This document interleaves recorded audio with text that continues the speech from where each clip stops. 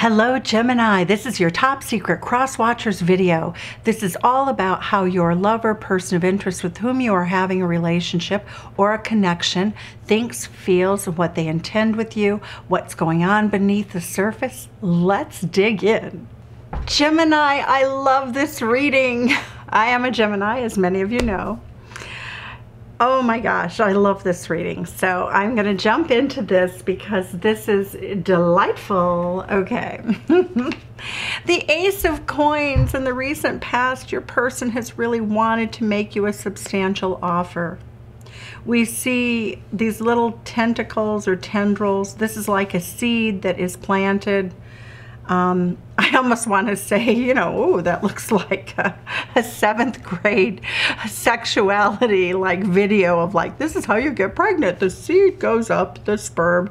I don't know why I'm like saying that, but it's the little tendrils of growth here. What your person wants to do is they want to invest in you in the recent past. The Ace of Pentacles is all about making a substantial offer whether they have or not is interesting because then we have the energy currently of the King of Swords. This person is staying very aloof. This is Aquarius energy. This is King of Swords energy. This is sort of like a benign leader.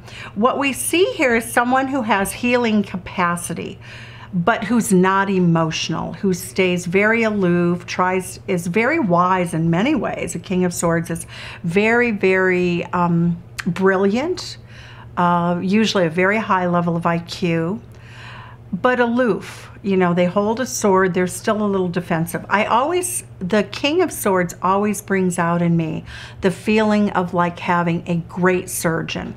You're going, you know, you're all prepped for surgery, your surgeon comes out and they're great and they're warm and they're friendly.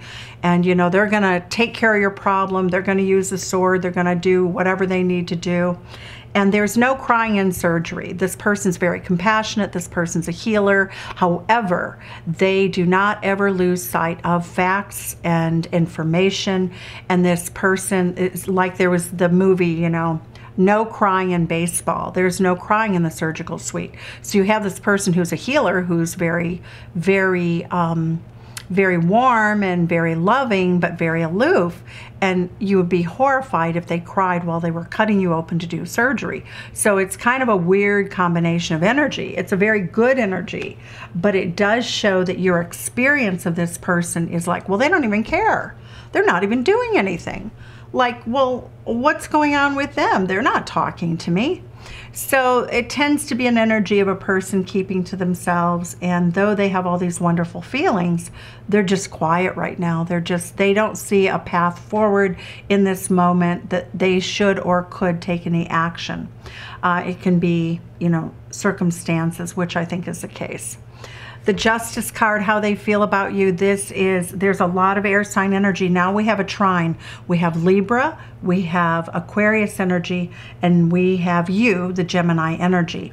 So it does speak to the fact that your person feels as though you understand them, that they feel that you're balanced, they feel the relationship has a really good uh, kind of fair, balanced, centered energy to it.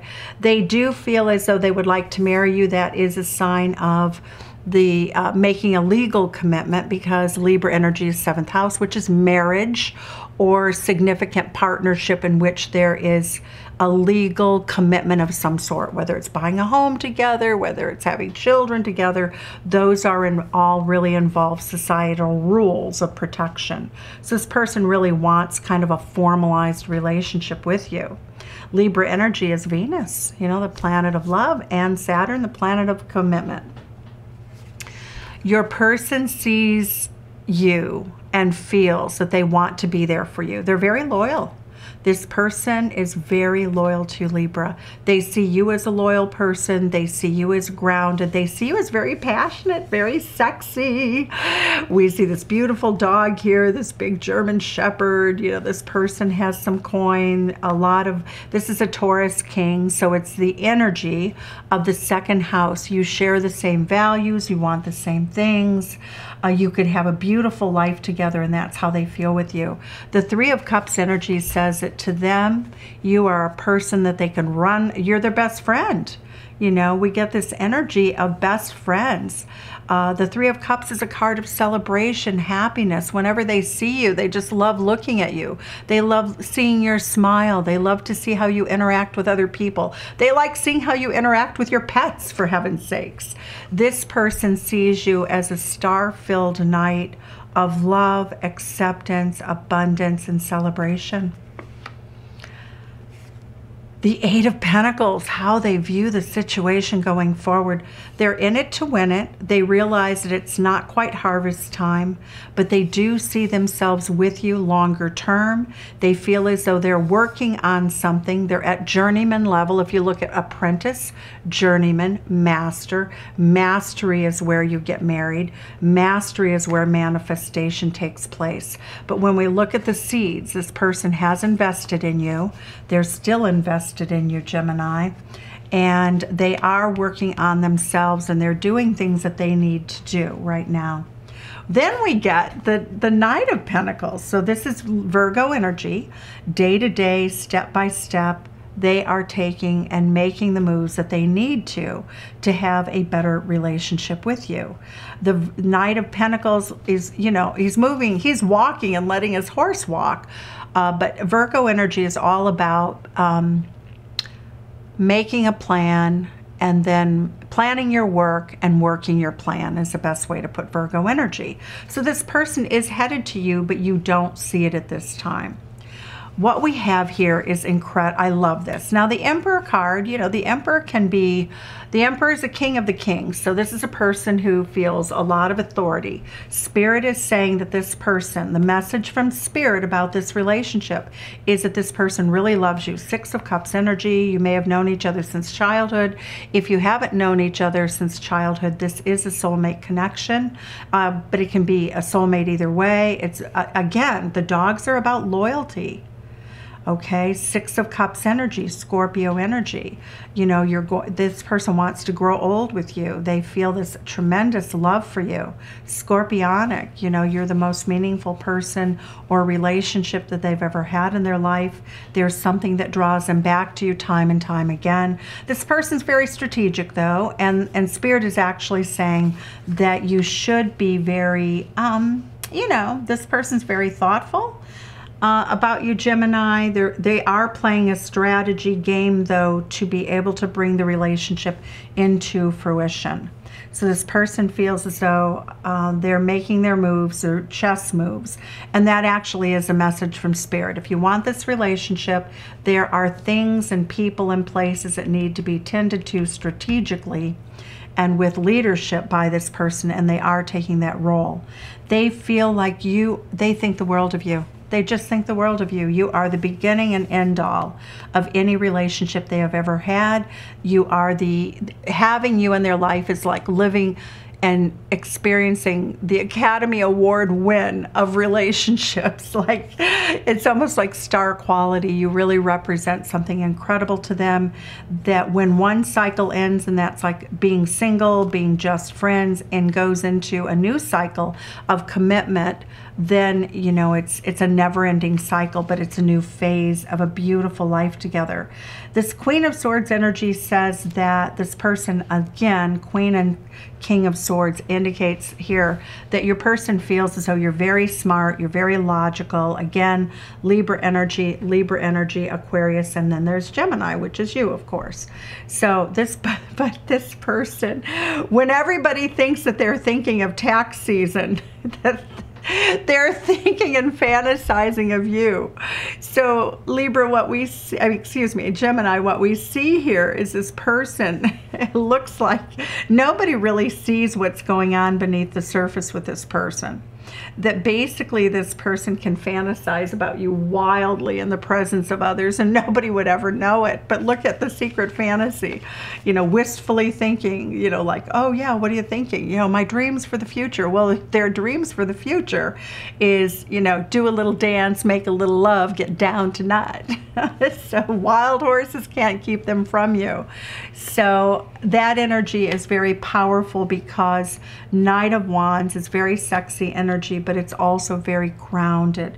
We see a person who really takes their commitment seriously.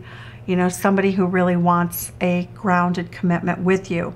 Now, the overall energy coming into the reading is bring a gentle touch.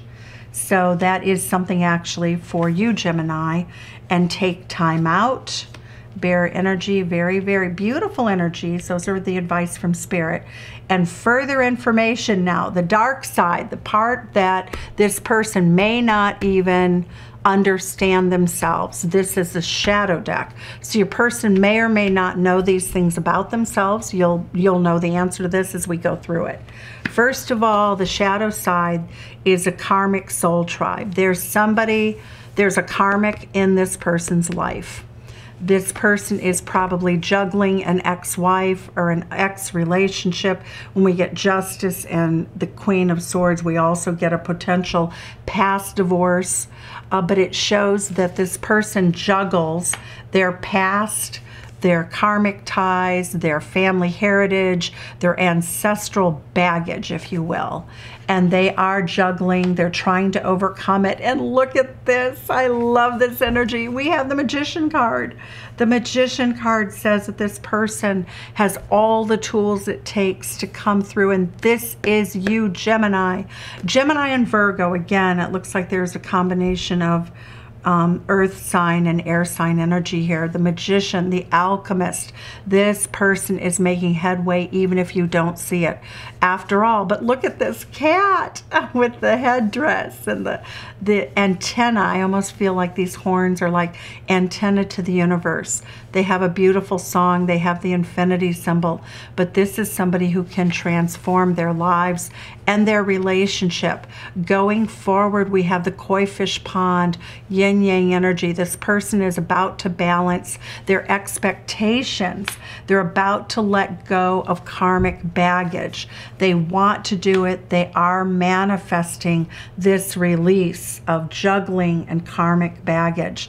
They will return to you according to this card if you've been in separation. Now, I don't think that you're you're I do think, let me put that properly, I think that you have been in contact and have access to this person. I think that if you want to text them or have a conversation with them, that you have that access. I don't think there's any question. There's nothing here that would say otherwise. So take it as it resonates. But it really says that this person wants to balance their karma with you. They absolutely have come into an awareness that they need to manifest a very peaceful, calm situation in which they're not juggling you, even, even if it's jobs, kids, money, ex-wives, wives, whatever you know, but it does look like this person has been in a state of separation at the very minimum with any karmics, but we see a release of karma. A release is coming in. This person is manifesting this one day, one month, one year, and temperance. They are balanced, they are healed. Sending you love from Chicago, Gemini. Send some back and tell me where you're from. Take care.